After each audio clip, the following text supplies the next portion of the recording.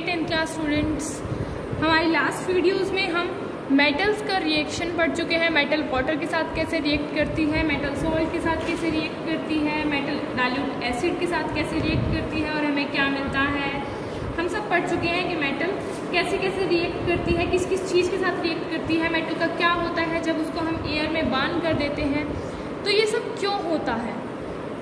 ये किस चीज़ पर डिपेंड करता है? How do metals and non metal so are today's topic is how do metal and non metal reacts हम सब अबव एक्टिविटीज़ जो हमने पढ़ी ही लास्ट वीडियोज़ में लास्ट पार्ट फोर तक, उसमें हम देख चुके हैं reaction of metal with a number of reasons ये जो मेटल्स हैं, वो इस मैनर में रिएक्ट क्यों करती हैं? सेम मैनर में रिएक्ट करती हैं। क्यों करती हैं?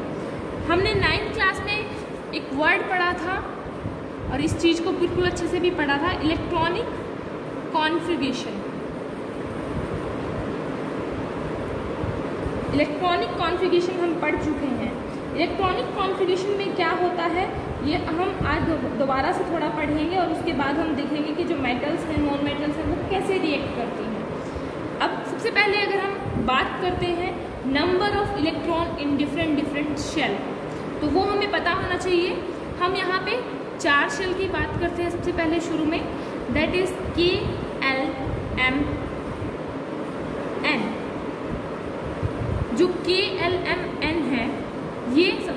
partial होता है। This is second this is third and this is fourth ये सब कैसे फिल होते हैं? इनके लिए एक जनरल फॉर्मूला होता है। And that general formula is two and two power two means first में हमारे लिए क्या होगा? For K it would be two for L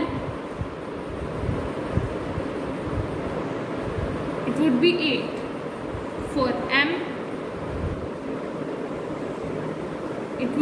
15 and for N, it would be 32 that means k l m n 2 8 18 32 but to form a stable configuration we should follow this 2 8 8 18 in this class we are going to follow this configuration in KLMN first of all for type of element like noble gas. Noble gas.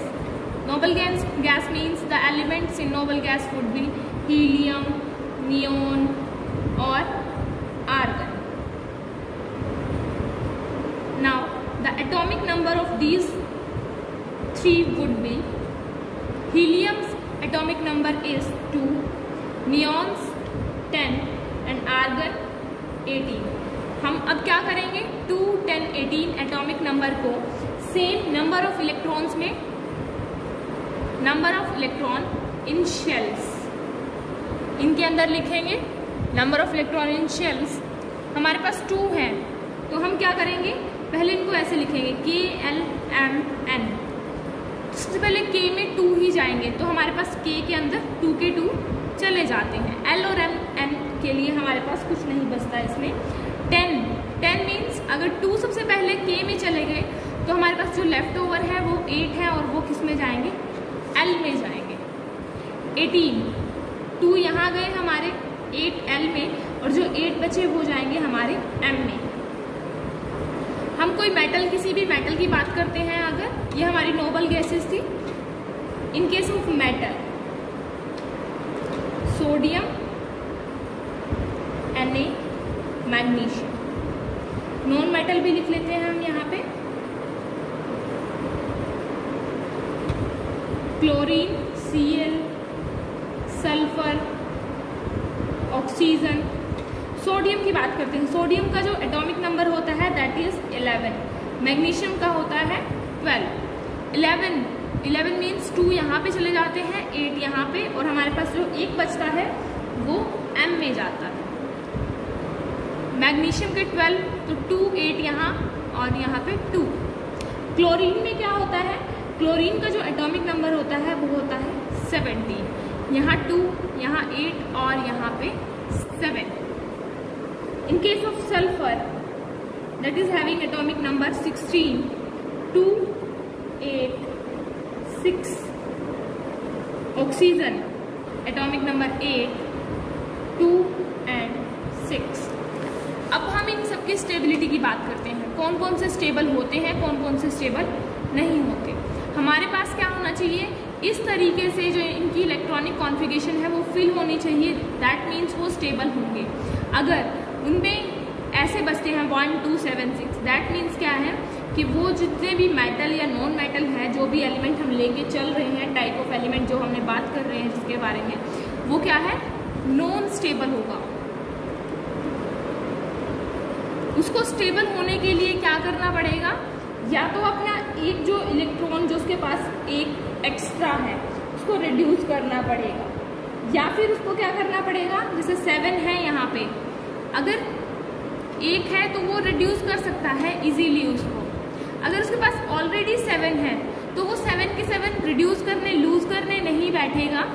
Seven के साथ वो एक gain कर सकता है, वो किसी के साथ भी मिलके गेन कर सकता है। अगर हम बात करते हैं सोडियम और जब क्लोरीन रिएक्ट करते हैं तो उनमें कैसे होता है? जो सोडियम है सोडियम में हमने देखा क्या है? टू एट और वन है उसकी इलेक्ट्रॉनिक कॉन्फ़िगरेशन तो सोडियम क्या है?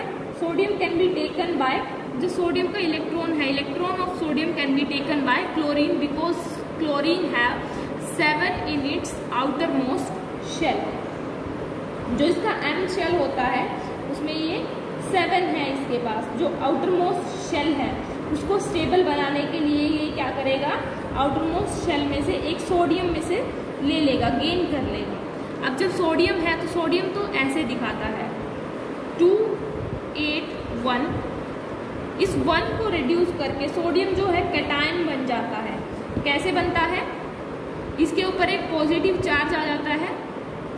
टू एट यहाँ पे बनते हैं और इस वन इलेक्ट्रॉन को जब ये लूज कर देता है तो यहाँ पे एक इलेक्ट्रॉन ऐसे आ जाता है। In case of chlorine chlorine में क्या है? Two eight seven. क्लोरीन क्या करता है? इलेक्ट्रॉन गेन करता है। दैट मीन्स इलेक्ट्रॉन उसके इस तरफ़ आएगा। और गेन करने के बाद उस पर नेगेटिव चार्ज आ जाता है। नेगेटिव चार्ज मीन्स जो टू एट सेवन था वो टू एट एट बन जाता है। एक इलेक्ट्रॉन उसने गेन कर लिया। दैट मीन्स क्या हुआ? क्लोरीन नेगेटिव चार्ज में आ गया और टू एट एट बन गया। तो ये जो एन ए और सी एल है, ये क्या करते हैं? आपस में रिएक्शन करके सोडियम लूज कर देता है इलेक्ट्रॉन को। जो इलेक्ट्रॉन उसने लूज किया, उसको क्लोरीन गेन कर लेता है। जब हम सोडियम की बात करते हैं सोडियम और क्लोरीन की जब बात करते हैं तो हम उनको ऐसे लिख सकते हैं।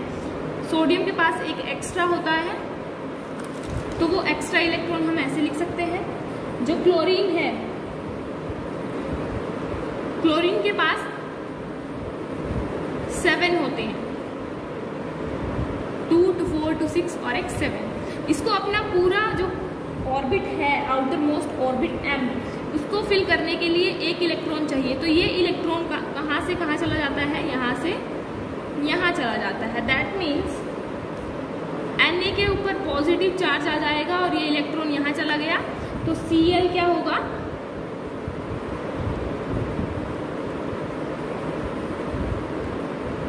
Cl के ऊपर नेगेटिव चार्ज आ जाएगा। ये क्या होती है? फॉर्मेशन ऑफ़ सोडियम क्लोराइड ऐसे ही होता है। मतलब जब हमने पढ़ा कि how do metals and non metal react तो ये ऐसे रिएक्ट करती हैं, जो मेटल और नॉन मेटल हैं, वो कैसे रिएक्ट करती हैं, वो ऐसे ही रिएक्ट करती हैं हमेशा ही। तो हम कह सकते हैं कि ये ऐसे ही होता है। ऐसे ही अगर हम पोटेशियम क्लोराइड की बात करें के सी एल पोटेशियम में क्या होता है? पोटेशियम के ऑक्टेट में जो होता है टू एट एट वन होता है, क्योंकि पोटेशियम का जो एटॉमिक नंबर होता है, वो होता है नाइनटीन क्लोरीन का एटॉमिक नंबर हमें पता ही था और इसकी जो कॉन्फ़िगरेशन हमने लिखी थी वो थी टू एट सेवन तो पोटेशियम क्लोराइड कैसे रिएक्ट करता है? जिसका एक ये इलेक्ट्रॉन होता है, उसको लूज करता है और क्लोरीन उसको ले लेता है। दैट मीन्स क्या होता है? के सी एल पोटेशियम क्लोराइड भी बन जाता है।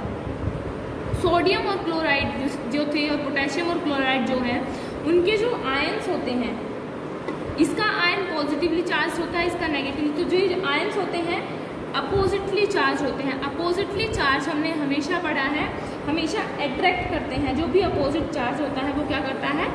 अट्रैक्ट करता है। अट्रैक्ट ईच अदर और ये क्या होते हैं? अट्रैक्ट करने के बाद उनके अंदर एक फोर्स होता है strongest force electrostatic force of attraction electrostatic force of attraction उनको क्या करता है?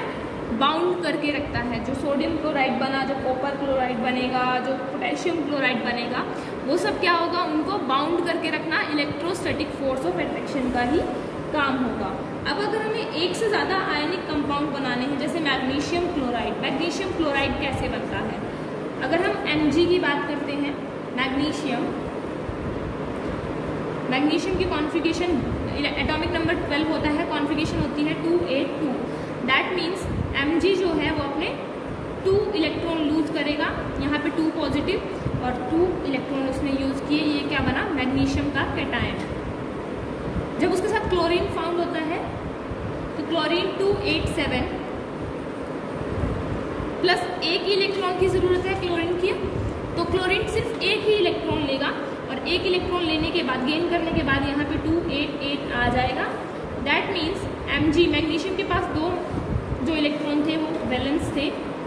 क्लोरीन के पास, अगर हम क्लोरीन कभी भी मैग्नीशियम जो है सिंगल क्लोरीन के साथ रिएक्ट नहीं करेगा, क्योंकि मैग्नीशियम के पास दो इलेक्ट्रॉन थे। क्लोरीन एक बार में सिर्फ़ एक ही इलेक्ट्रॉन ले रहा है। तो इस इक्वेशन को बैलेंस करने के लिए या ट्रांसफ़र ऑफ़ एलिमेंट जो है मेटल्स में, उसको ट्रांसफ़र अच्छे से करने के लिए, वो हमेशा दो क्लोरीन के साथ रिएक्ट करता है। उसका एक इलेक्ट्रॉन यहाँ जाता है, एक इलेक्ट्रॉन यहाँ जाता है। क्लोरीन का जो इतने इलेक्ट्रॉन बैलेंस थे उसके, यहाँ पे भी सेम सेवन तो एक उसका इलेक्ट्रॉन यहाँ चला जाता है और एक इलेक्ट्रॉन उसका यहाँ चला जाता है। दैट मीन्स क्या होगा? एम जी टू प्लस और सी एल ऐसे बन जाता है। और यहाँ पे नीचे टू आ जाता है।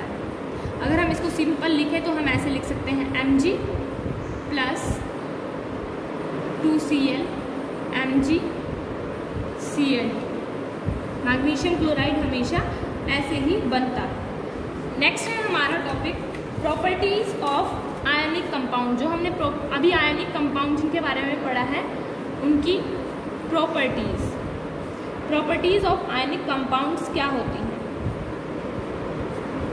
हमें सबसे पहले एनसीईआरटी में से एक एक्टिविटी लेनी है। वो एक्टिविटी क्या है? प्रॉपर्टीज़ ऑफ़ आयनिक कंपाउंड के अंदर जो एक एक्टिविटी है, हमें सोडियम क्लोराइड पोटेशियम आयोडाइड इनका सैंपल लेना है। इनको सैंपल लेने के बाद मेल्टिंग और बॉइलिंग पॉइंट उनका आयनिक कंपाउंड का यहाँ पे लिखना है। देखना है कि पेट्रोल से कैरोसिन से किसमें डिजोल्व हो जाती हैं हीट करना है स्पैचुला से। तो सबसे पहले हम जो प्रॉपर्टीज़ पढ़ेंगे, उन प्रॉपर्टीज़ में सबसे पहले आता है फ़िज़िकल नेचर आयनिक कंपाउंड्स जो होते हैं सॉलिड होते हैं और हार्ड होते हैं। क्यों होते हैं? क्योंकि उनके बीच जो फोर्स ऑफ़ अट्रैक्शन होता है that is very strong between positive and negative ions there is a strong force of attraction जो कंपाउंड्स होते हैं जनरली ब्रिटल होते हैं, चमकदार होते हैं। जब उनको प्रेशर में तोड़ प्रेशर लगाते हैं, हम उनके ऊपर प्रेशर अप्लाई करते हैं तो ये पीसीज में टूट जाते हैं। मेल्टिंग एंड बॉइलिंग पॉइंट की जब हम बात करते हैं तो आयनिक कंपाउंड्स होता है हाई मेल्टिंग और बॉइलिंग पॉइंट होता है इनका। ये क्यों होता है हाई मेल्टिंग और बॉइलिंग पॉइंट इसकी वजह से क्या होता है? इनका स्ट्रॉन्ग इंटर आयनिक इंट्रैक्शन जो होता है, वो बहुत ही स्ट्रॉन्ग होता है। उसको तोड़ने के लिए बहुत ज़्यादा एनर्जी की ज़रूरत पड़ती है considerable amount of energy that means they would have a high melting and boiling point solubility क्या होती है? जनरली सॉल्यूबल होते हैं वाटर के अंदर और सॉल्वेंट जैसे कैरोसिन वगैरह है पेट्रोल वगैरह, इनके अंदर सॉल्यूबल नहीं होते। जब कंडक्शन ऑफ़ इलेक्ट्रिसिटी की अगर हम बात करते हैं तो सॉल्यूशन होता है, कोई भी जैसे आयनिक कंपाउंड का कोई सॉल्यूशन होता है वाटर के अंदर वो आयन्स को कंटेन करता है। आयन्स को कंटेन करने के बाद हम कह सकते हैं कि ये अपोजिट इलेक्ट्रोड में जाता है हमेशा, और सॉलिड स्टेट जो होती है, वो इलेक्ट्रिसिटी कंटेन नहीं करेगी। क्योंकि उसके अंदर मूवमेंट ऑफ़ आयन पॉसिबल नहीं होगा। बट जो आयनिक कंपाउंड होंगे मोल्टन स्टेट में, वो सब इलेक्ट्रिसिटी को कंडक्ट अच्छे से कर सकते हैं। हमें यहाँ पे इलेक्ट्रॉन डॉट स्ट्रक्चर लिखना है सोडियम ऑक्सीजन और मैग्नीशियम का। सोडियम और मैग्नीशियम का हम ऑलरेडी लिख चुके हैं। ऑक्सीजन का भी हम लिख सकते हैं। हमें ऑक्सीजन की जो एटॉमिक नंबर थी, वो पता थी, वो एट एट थी। हम उसकी कॉन्फ़िगरेशन लिख सकते हैं एटॉमिक नंबर से। एट से हम उसका कॉन्फ़िगरेशन आराम से लिख सकते हैं, उसके बाद उसका इलेक्ट्रॉन डॉट स्ट्रक्चर भी लिख सकते हैं। हमें फॉर्मेशन करनी है एन ए टू ओ और M G O by the transfer of electron N A two O की बात जब हम करते हैं तो एन ए के पास सिर्फ़ एक बैलेंस इलेक्ट्रॉन होता है और जो ऑक्सीजन होता है, उसको दो बैलेंस इलेक्ट्रॉन चाहिए होते हैं, क्योंकि जो उसकी देखिए N A two O N A के पास सिर्फ़ एक इलेक्ट्रॉन होता है जो ऑक्सीजन होता है, उसकी एट होती है तो ऑक्सीजन को हमेशा दो गेन करने होते हैं, तभी ऑक्सीजन सही बन पाता है, क्योंकि ऑक्सीजन की होती है टू एंड सिक्स ऑक्सीजन को हमेशा दो इलेक्ट्रॉन गेन करने होते हैं तो यहाँ पे ओ टू नेगेटिव ये बन सकता है। हमें बनाना है एन ए टू ओ तो हम कैसे बनाएँगे? एन ए दो एन ए प्रेजेंट होंगे हमारे पास, दोनों के पास एक एक इलेक्ट्रॉन होगा। ऑक्सीजन यहाँ पे और यहाँ पे भी ऑक्सीजन इनके पास कितने कितने हैं? सिक्स सिक्स ऑलरेडी हैं. ये दोनों के साथ ही होगा. तो एक इलेक्ट्रॉन यहाँ से जाएगा और एक इलेक्ट्रॉन यहाँ से जाएगा. दैट मीन्स एन ए क्या होगा? उसके ऊपर टू प्लस यहाँ पे टू आ जाएगा. और जो ऑक्सीजन है, उसके ऊपर आएगा टू नेगेटिव का चार्ज मतलब ऑक्सीजन क्या हुआ? ये उसने यहाँ से गेन कर लिए ये है एन ए टू ओ की फॉर्मेशन सोडियम ऑक्साइड की फॉर्मेशन ऐसे ही हम फॉर्मेशन कर सकते हैं मैग्नीशियम ऑक्साइड की। आयंस क्या होते हैं? कंपाउंड्स के अंदर प्रेजेंट की हमने पूरी डेफिनेशन की थी। आयनिक कंपाउंड का हाई मेल्टिंग पॉइंट क्या होता है? क्योंकि वो उनके अंदर स्ट्रोंगेस्ट जो होता है इंटर आयनिक अट्रैक्शन होता है, जो फोर्स लगता है, वो बहुत ही स्ट्रॉन्ग होता है और उसको ब्रेक करने के लिए, तोड़ने के लिए हमें बहुत ही ज़्यादा एनर्जी की ज़रूरत होती है। उस एनर्जी की वजह से ही उनका मेल्टिंग पॉइंट्स बहुत ही हाई हो जाता है। जो नेक्स्ट टॉपिक है 3.4 extraction of metal and corrosion extracting metal slow in activity series in middle of activity series towards the top refining of metal corrosion ये सारे टॉपिक्स हमारे एन e ने इस बार रिमूव कर लिए हैं। तो ये टॉपिक हमें करने की ज़रूरत नहीं है। इस चैप्टर से हमने क्या सीखा? What you have learn from this chapter element को हम मेटल और नॉन मेटल की फॉर्म में क्लासीफाई कर सकते हैं। मेटल की जो हमने पढ़ी थी प्रॉपर्टीज़ पढ़ी थी lustrous malleable ductile good conductors metal positive ion बनाते हैं कंबाइन होते हैं ऑक्सीजन के साथ ऑक्साइड बनाने के लिए। डिफरेंट मेटल की डिफरेंट रिएक्टिविटी होती है। कॉमन मेटल को अरेंज कर सकते हैं डिक्रीजिंग रिएक्टिविटी में उसको एक्टिविटी सीरीज़ कहते हैं। मेटल्स जितनी भी हाइड्रोजन से ऊपर होती हैं, वो हाइड्रोजन को डिस्प्लेस कर सकती हैं। जितनी मेटल डिस्प्लेस कर सकती हैं, वो कौन सी होती हैं? जो लेस रिएक्टिव मेटल को ही डिस्प्लेस कर सकती हैं हमेशा। मेटल नेचर में कैसे होकर होता है? फ्री एलिमेंट्स की फॉर्म में या फिर कंपाउंड्स की फॉर्म में। एक्सट्रक्शन जो चलता है, ये हमने नहीं पढ़ा। एक्सट्रक्शन एलोय ये कॉरोइजन का है, जो हमने नहीं पढ़ा, क्योंकि ये सारे टॉपिक एन e ने इस बार रिमूव कर दिए हैं। नॉन मेटल जो होता है अपोजिट होते हैं मेटल्स के neither malleable nor ductile bad conductor होते हैं heat as well as electricity के except for graphite which conducts electricity non metals जो होते हैं नेगेटिवली चार्ज आयन होते हैं by gaining electron non metal हमेशा ऑक्साइड बनाते हैं, या तो एसिडिक या फिर न्यूट्रल नॉन मेटल कभी भी डिस्प्लेस नहीं करते हाइड्रोजन को डायल्यूट एसिड से। वो हमेशा हाइड्रोजन के साथ रिएक्ट करते हैं, जिससे हाइड्राइड बनाते हैं। So this was our chapter metals and non metals chapter number three हमने इसमें अलग अलग टॉपिक्स पढ़े मेटल्स की प्रॉपर्टीज़ पढ़ी मेटल की रिएक्शन पढ़ी हाइड्रोजन वाटर मेटल की रिएक्शन नॉन मेटल के साथ एसिड के साथ। ये सब हमने पढ़ा, उन सब की प्रॉपर्टीज़ हमने पढ़ी। इसके जो भी आपके डाउट हैं, आप मुझसे शेयर कर सकते हैं कमेंट सेक्शन में। अगर आपको एन एक्सरसाइज सॉल्व करते टाइम कोई भी डाउट आता है तो आप कमेंट सेक्शन में मुझे शेयर कर सकते हैं। Thank you students